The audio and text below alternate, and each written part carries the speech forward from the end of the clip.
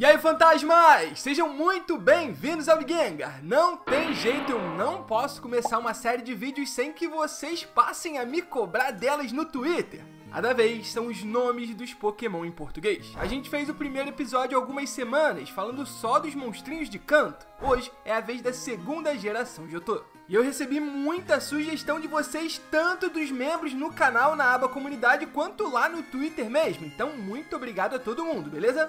Se quiser participar do próximo vídeo, tenha certeza ou de virar membro ou de me seguir lá no Twitter. É arroba Ligueira mesmo. Vamos começar então com os iniciais. Chicorita seria Chicorinha. Essa aqui foi uma ideia do Caio, do Jogada Excelente, a melhor página de Pokémon GO. Então, se você joga um mobile game de Pokémon, tenha certeza de seguir para ficar muito informado. E logicamente, a explicação de Chicorinha seria uma pequena chicória, né? Bem semelhante ao nome ocidental do Pokémon. Já o Bailiff eu mesmo traduzi como Lourinha, e aqui a gente tem o mesmo problema que eu já tinha explicado no primeiro episódio. O nosso idioma tem essa questão do gênero muito forte, então se a palavra termina com a letra A, parece se tratar de algo feminino. A mesma coisa com a letra O e masculino. Mas o nome Lourinha vem da folha de louro, aquela que muita gente usa no feijão, tá ligado? Então, é essa folha que serviu de inspiração para a criação da Bailiff. Por fim, temos Meganium, e aqui eu acho que pode ser Meganium mesmo, apesar de Giranium não ser algo muito falado aqui no Brasil,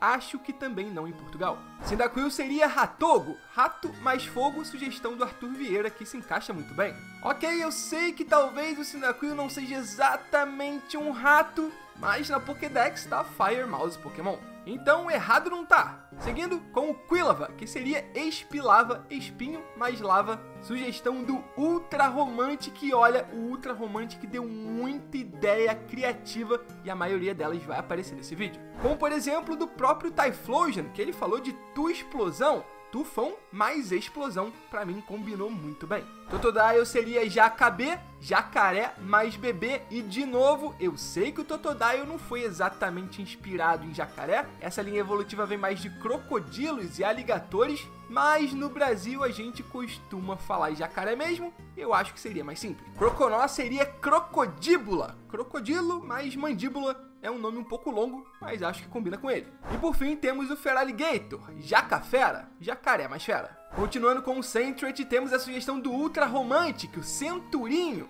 Aqui temos a combinação das palavras sentinela, furão e doninha, formando assim o nome em português do Centret. Já o Furret seria furongo, furão mais longo, sugestão da Kawaii Emolga. Vocês têm os melhores nomes no Twitter, inacreditável. Já Ruhu, em inglês mesmo, é a onomatopeia da coruja, então eu acho que a gente poderia adaptar para Uhu. É, é assim que eu acho que uma coruja fala. Mas sério, Ruhu viraria Uhu e Noctal viraria ex-coruja, escuro mais coruja, uma referência a esse animal ter hábitos noturnos. Ledba viraria Joanina, não precisa nem explicar, né? Legend seria Joanein, Joaninha mais Carmim, que é semelhante a vermelho. Eu acho que esse nome aqui ficou melhor na ideia do que falando, viu? Aliás, se você tiver sugestões de nomes melhores, comenta embaixo, hein? Não esquece. Seguindo com o Spinarak Firanha, fio mais aranha. De Ariados seria Ariados mesmo. Esse nome vem do mito de Ariadne, que teria dado a Teseu um rolo de barbante para que ele encontrasse a saída após entrar no labirinto do Minotauro. Claramente, essa aqui é uma referência à mitologia grega. Crobat a gente traduziu como Morcruz, morcego mais cruz, sem muito mistério, ideia do Dimas Teobaldo, e eu não vou errar mais seu sobrenome, Dimas, prometo. Tinchel viraria Fachel, que é basicamente facho, sinônimo de lanterna, só que com a parte final igual a do Tinchel. Lantern seria lanterna, lâmpada mais lanterna. Esse aqui fui eu que criei e confesso que tô orgulhoso. Bom, Pichu a gente mantém como Pichu mesmo, até porque a gente manteve Pikachu e Raichu no primeiro vídeo. Clefa viraria Clafa, clave mais fofa. Outra ideia do Ultra Romantic. Igglybuff seria Bebebuff. Togepi, Togepi mesmo, até porque esse é o nome inglês e japonês desse Pokémon, então vamos manter aqui no Brasil também. Assim como a sua evolução, o Togetic. Não vamos mexer no nome dessa linha evolutiva em português não. Continuando com o Nato, que fica Nato mesmo, mais um que não se alterou. Agora o Zato eu troquei para Native, já que essa é a inspiração do nome japonês Natio e até que a palavra Native tem uma boa sonoridade em português. O Halif sugeriu e eu adorei que a Marip virasse Marilan. Essa aqui é a combinação de Maria mais Lã. E você pode estar se perguntando por que Maria? Mas o Merip vem de Mary, porque foi inspirado em uma rima típica dos Estados Unidos. Na minha opinião, a tradução Mary para Maria faz todo sentido. Flaff seria macilã, macio mais lã, e o Unfarrell seria faroleiro, farol mais carneiro. Belosson seria belerina, a bela bailarina. Meryl seria Marilu, mar mais luz. Sua evolução, Azumarill, seria Azul Marilu, apenas com o prefixo da cor azul. A tradução que o Farfetch fez para o Surouro foi falsodeira, madeira falsa. E caso você não saiba, apesar de parecer uma árvore, Surouro não é do tipo grama. Na verdade, se trata apenas de um Pokémon mímico. Politoad virou Saporino, sapo mais girino. Hop virou Upa Up, sons de brincadeira de pulo. Upa e Up, tipo quando você joga um bebê pro alto, e eu achei muito fofa essa ideia do Halif. Skiplum virou Florupi, flor, mais o final Up que também temos no Hop. E Jumpluff virou Saltiflor, a flor saltitante. Apon é mancaco, sugestão do Miguel Lopes e essa aqui também dispensa explicação, né? Sunkern é somente sol mais semente, ideia do Karl Marx que também sugeriu o nome da Sunflora, evolução do Sunkern. Essa aqui viraria Solflora, mais um que faz todo sentido e vocês mandam muito bem nessa brincadeira. Yama virou Libélula, só para não ser exatamente Libélula, né? Hooper seria Ashoper. Esse prefixo vem de Axolote, o animal no qual esse Pokémon foi inspirado. Já o Quagsire seria Salamang, salamandra mais mangue, mais um que eu tenho muito orgulho de ter criado.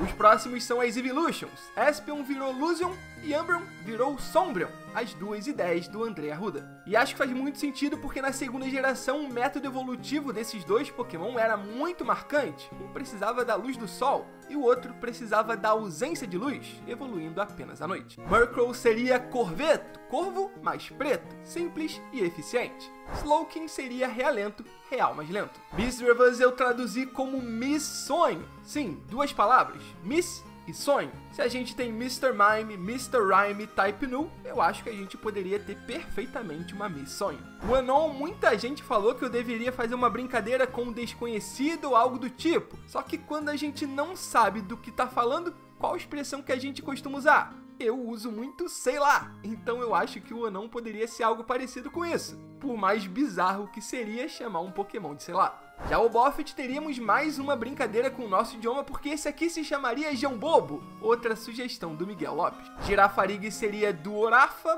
bem autoexplicativo, enquanto Pineco seria Pinheco, só uma pequena adaptação, acrescentando a letra H pra gente lembrar da pinha. Fortress seria Fortaleza, forte mais fortaleza. Também ficou muito bom, né? Modéstia à parte. O Dunsparce seria Serpenda, já que esse Pokémon é inspirado no Tsuchinoko, uma serpente folclórica lá no Japão. Agora o sufixo, a parte final do nome, vem de lenda, conta da raridade desse monstrinho. Gligar seria escorcego, a junção de escorpião e morcego, que é exatamente isso que ele é. Stelix seria Metalix. O Karl Marx está de volta para esse vídeo para sugerir o nome do Snubble, Snowball, Snob mais Awal, a onomatopeia do cachorro. Eu gostei tanto que usei a mesma ideia para o Grumble, Bulldog, Bulldog mais Al. Já o Quillfish seria peixe-espinho, isso, tudo junto, peixe-espinho claramente vem de peixe-espinho. O Scizor virou tesoura na grande brincadeira do Bruno Assis lá da Casa do Carvalho. Já o Shuckle poderia ser Cascado, a junção de cágado, algo semelhante à tartaruga, com casca, porque faz todo sentido também. Heracross virou Hercouro, Hércules mais Besouro. Sneasel seria Malaninha, malandro mais doninha. Ted Ursa virou Tedurso, uma ideia de João Pedro que eu achei bem legal assim como Ursaring viraria Ursanel, praticamente a tradução do seu nome inglês. O Hollow Knight sugeriu que o Slugma virasse Lesmagma, Lesma mais Magna. Então, o Magcargo seria Magmacol, Magma mais Caracol. Swinub seria Suinis, Suíno mais Nariz, enquanto Piloswine seria Peluíno, peludo mais suíno. Corsola poderia ser Corsola mesmo, já que junta coral com solar, e Remoraid poderia também ser Remoraid, só que em português. Remoraid, ou Remoraid, Remora mais Raid, afinal a gente já está acostumado com a palavra Raid, tanto no Pokémon GO e mais recentemente em Sword and Shield. Delibird seria Delinguin, Delivery mais Pinguim, enquanto Mantine Mantinha, Manta mais Marinha. A Gabriele Mateus traduziu o nome do Skarmory como Ceradura, céu mais armadura. Já Houndor seria Caniça, Canídeo mais caça, enquanto Houndoom, Inferniça, inferno mais caça. Ambos os nomes dão bastante a ideia passada justamente pelo design agressivo desses Pokémon. A Kingdra virou Dragarei, até para seguir o que a gente tinha dito no primeiro vídeo. Horse seria Cavarinho e Sidra Dragarinho. Femp virou Fantin, que seria um encurtamento de Elefantinho, enquanto Donphan virou Donfante, Dom mais Elefante, sugestão também do Miguel Lopes. Porygon 2 seria Polígono 2, já que algumas semanas a gente traduziu o Porygon justamente como Polígono. Stantler seria Vifro, veado mais chifre, enquanto Smeargle seria Coloracão, esse aqui ficou bom, sério. Mereço o like só por ter pensado nesse nome. Tarog virou Taisub, eu mantive o prefixo Tai, até porque talvez venha de Mike Tyson, e coloquei o sufixo sub, já que ele parece um bebê ou um juvenil na arte de lutar.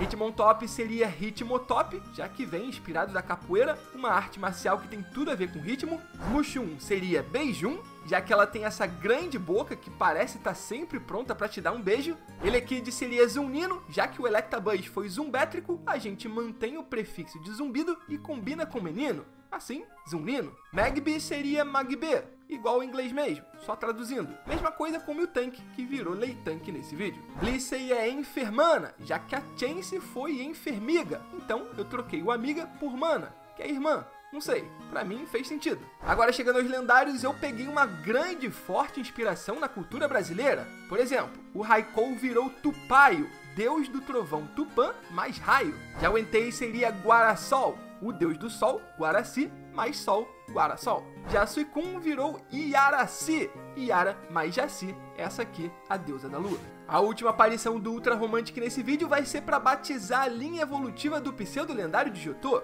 Larvitar virou Larvezilla, larva mais sufixo Zilla que claramente vem de Godzilla. Puptar seria Pupzilla, Pupa mais Zilla. E Tyranitar, claro, Tyranozilla, e eu tô pra dizer que gosto mais desse nome do que o ocidental. Enfim, fantasmas, pra encerrar temos Luga, que eu botei o nome de Lunata, lua mais prata. E eu sei que lembra muito o nome da Lunala, mas lá na frente a gente troca isso também. Ou eu acho que poderia ser Fênix, simples e direto. Todo mundo sabe o que é uma Fênix, né? E por fim temos Celebi, o ser celeste. Por isso, virou Celeste. Mas agora sim, fantasmas, por hoje é isso. Como eu disse no primeiro episódio, essa brincadeira aqui é muito mais difícil do que parece, então eu desafio você a batizar todos os Pokémon em português. Comenta embaixo, hein? Conto com vocês. Não esquece o like, de se inscrever no canal e de compartilhar o vídeo com os amigos. Muito obrigado por tudo, fantasmas! Pela força sempre e até a próxima!